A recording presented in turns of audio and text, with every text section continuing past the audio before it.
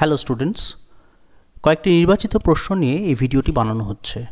তো প্রথমে যে প্রশ্নটি নিয়ে আলোচনা করব তা হলো, অ্যাঙ্গেল অফ কন্ট্যাক্ট, অর্থাৎ স্পর্শকোণ, অফ ওয়াটার উইথ গ্লাস, অর্থাৎ জল এবং কাঁচের মধ্যে যে স্পর্শকোণের মান হয় তা that is greater than or less than ninety degree প্রশ্নে জানতে চাওয়া হয়েছে এই স্পর্শকোণের মান নব্বই ডিগ্রি থেকে বেশি না কম। আমাদের প্রথমেই জেনে নেওয়া উচিত যে স্পর্শকোণ কাকে বলে। ধরা যাক একটি কাঁচের তলের ওপরে, এটা একটি কাঁচের তল এবং এই কাঁচের তলের ওপরে কিছুটা জল রাখা হয়েছে। আমরা জানি যে কাঁচের তলের ওপর জল রাখলে জলটি যে আকার ধারণ করবে তা অনেকটি এইরূপ। তো এক্ষেত্রে এই স্পর্শ বিন্দুতে যদি একটি স্পর্শক টানা যায়, তাহলে স্পর্শকটি এইভাবে থাকে। স্পর্শকটি কাঁচের তলের সাথে জলের ভেতরে, অর্থাৎ ইনসাইড দি লিকুইড যে কোণ তৈরি করে তাই হলো স্পর্শকোণ। তো এক্ষেত্রে এই কোণটি তলের যে আকার হয়েছে, তা থেকে বোঝা যাচ্ছে যে এই কোণটির মান সবসময় নব্বই ডিগ্রির থেকে কম হবে।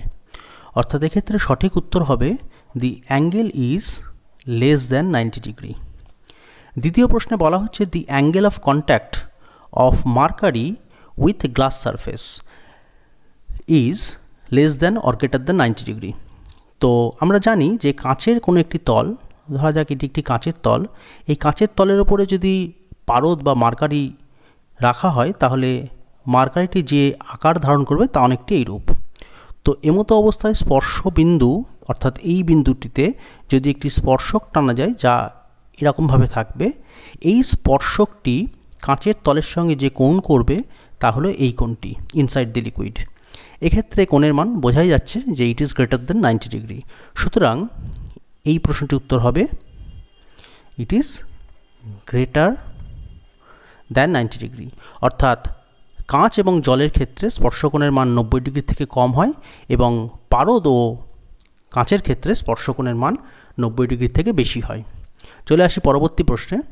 For water kept in a glass container adhesive force is dash than cohesive force প্রশ্ন করা হয়েছে যে যদি কাঁচের তলের ওপরে জলকে রাখা হয় তাহলে পারে অ্যাডহেসিভ ফোর্সের মান এবং কোহেসিভ ফোর্সের মানের মধ্যে কোনটি বেশি? আমরা জানি যে কাঁচ এবং জলের এই পেয়ারের ক্ষেত্রে, কাঁচ এবং জল এই দুটি উপাদানের ক্ষেত্রে জলের, কাঁচের প্রতি যে আকর্ষণ তা জলের মলিকুলের থেকে অনেক বেশি। অর্থাৎ এই ক্ষেত্রে অ্যাডহেসিভ ফোর্সের মান অনেক বেশি হয় কোহেসিভ ফোর্সের তুলনায়।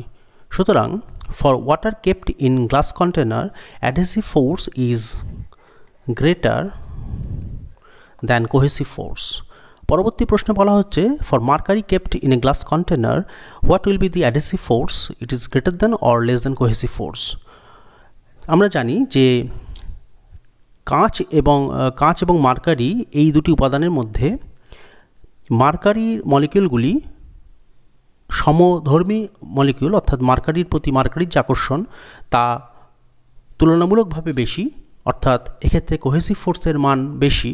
সুতরাং বলা যায়, mercury kept in a glass content container adhesive force is less than the cohesive force পরবর্তী প্রশ্নে বলা হচ্ছে the coefficient of viscosity dash with the increase in temperature আমরা জানি যে সান্দ্রতাঙ্ক বা কোএফিসিয়েন্ট অফ ভিসকোসিটি লিকুইডের ক্ষেত্রে উষ্ণতা বৃদ্ধির সঙ্গে সঙ্গে হ্রাস পায় এবং গ্যাসের ক্ষেত্রে উষ্ণতা বৃদ্ধির সঙ্গে সঙ্গে বৃদ্ধি পায়।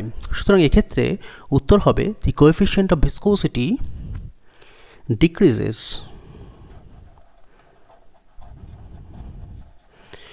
for liquid with the increase in temperature অথবা আরেকটি উত্তর হতে পারে, সেটি হলো increases for gases with the increase in temperature পরবর্তী প্রশ্নে বলা হচ্ছে the ratio of longitudinal stress to longitudinal strain is called আমরা জানি যে কোনো একটি চোঙাকৃতি তারকে, চোঙাকার কোনো একটি তারকে যদি তার দৈর্ঘ্য বরাবর বল প্রয়োগ করা হয়, তাহলে দৈর্ঘ্য বরাবর তার একটি দৈর্ঘ্যে বৃদ্ধি ঘটে। তো এক্ষেত্রে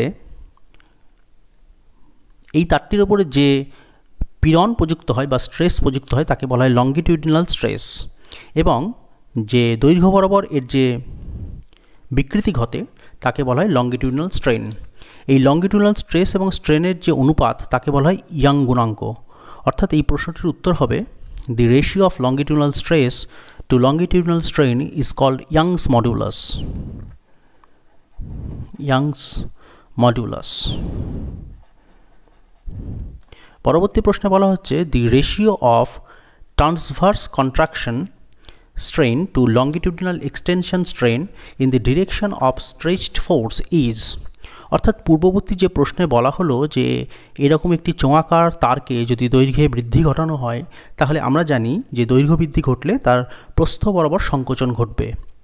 এই প্রস্থ বরাবর সংকোচন এবং দৈর্ঘ্য বরাবর যে দৈর্ঘ্য বৃদ্ধি ঘটছে, তার যে অনুপাত তাকে বলা হয় Poisson ratio So the answer will be the ratio of transverse contraction strain to longitudinal extension strain in the direction of stretching force is called Poisson ratio. is called Poisson's ratio. চলে আসি পরবর্তী প্রশ্নে The streamline flow of a liquid becomes turbulent after অর্থাৎ বলা হচ্ছে যে শান্ত প্রবাহ কখন টার্বুলেন্ট প্রবাহতে পরিণত হবে? আমরা জানি যে ক্রিটিক্যাল ভেলোসিটি বা সংকট গতিবেগ, যাকে ভিসি দিয়ে লেখা হয়, এই ভিসি হলো এমন একটি বেগের মান প্রবাহীর, প্রবাহের ক্ষেত্রে এমন একটি বেগের মান, যে বেগের মানের ওপরে গেলে স্ট্রিমলাইন মোশনটি টার্বুলেন্ট মোশনে কনভার্ট হয়ে যায়। সুতরাং এক্ষেত্রে the streamline flow of liquid becomes turbulent after critical velocity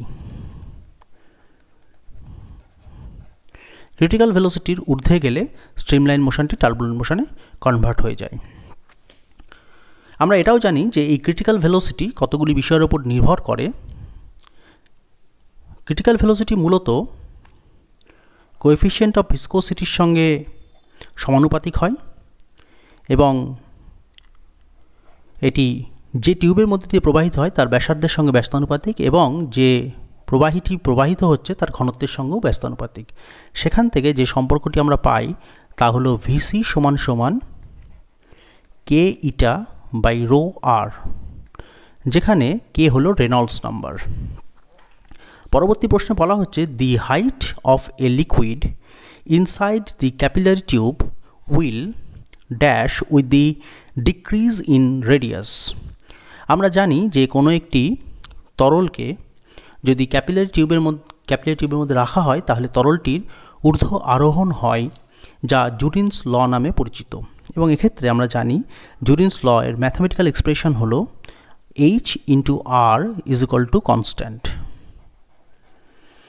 পারদ জাতীয় কোনো তরলের ক্ষেত্রে এই এইচের মান ঋণাত্মক হয়, অর্থাৎ তরলটি ঊর্ধ্বে আরোহণ না করে নিচের দিকে নেমে যায়।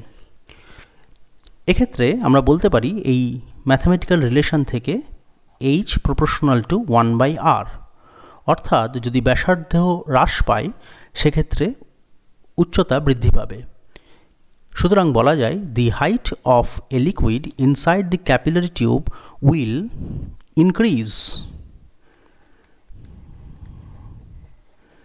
will increase with the decrease in its radius পরবর্তী প্রশ্নে বলা হচ্ছে the water droplets are spherical in shape due to surface tension during its free fall সুতরাং এই প্রশ্নটির উত্তর হবে সারফেস টেনশন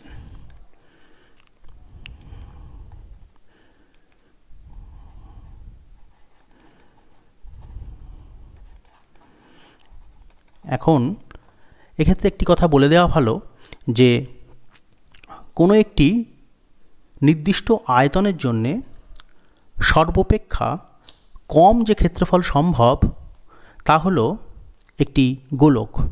অর্থাৎ যে কোনো নির্দিষ্ট ভলিউমের জন্যে বিভিন্ন রকম জিওমেট্রিক্যাল শেপের মধ্যে একমাত্র স্ফেরিক্যাল শেপেই সবথেকে মিনিমাম সারফেস এরিয়া অকুপাই করে। সুতরাং আমরা জানি যে সারফেস টেনশন হলো এমন একটি বল যা সারফেস এরিয়াকে মিনিমাইজ করার চেষ্টা করে। সেই জন্যেই ওয়াটার ড্রপলেটসগুলি সারফেস টেনশন এফেক্টের জন্য স্ফেরিক্যাল শেপ নেয়। পরবর্তী প্রশ্নে বলা হচ্ছে in Fahrenheit scale the value of absolute zero is আমরা জানি যে সেলসিয়াস স্কেলে অ্যাবসলিউট জিরো টেম্পারেচার হলো minus two seventy three degree Celsius এখন ফারেনহাইট স্কেলে এই সেলসিয়াস স্কেলের যে উষ্ণতাটি বলা হলো ফারেনহাইট স্কেলে তার মান কত? প্রশ্নে তাই চাওয়া হয়েছে। আমরা জানি সেলসিয়াস স্কেল এবং ফারেনহাইট স্কেলের মধ্যে যে সম্পর্কটি আছে, তা হলো C by five is to F minus বত্রিশ বাই নাইন এখন এই সি এর মান অর্থাৎ সেলসিয়াস স্কেলে উষ্ণতার যে মান, অর্থাৎ minus two seventy three degree তা যদি সি এর জায়গায় বসিয়ে দেওয়া যায়, তাহলে চলে আসে minus two seventy three by five is equal to F minus thirty two divided by nine এখান থেকে সামান্য ম্যাথামেটিক্যাল ক্যালকুলেশন করলে যা পাওয়া যায়, তা হলো F is equal to seventy three by five into nine আর এই মাইনাস থার্টি টু যা সাইড চেঞ্জ করলে প্লাস থার্টি টু হিসাবে এদিকে চলে আসবে।